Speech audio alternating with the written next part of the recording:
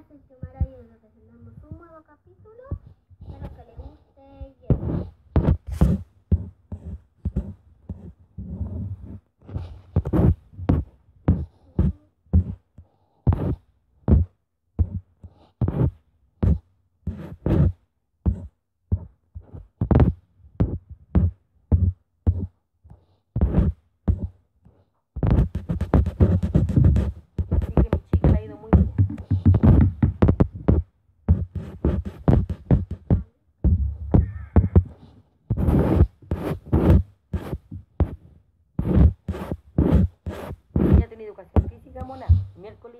jueves.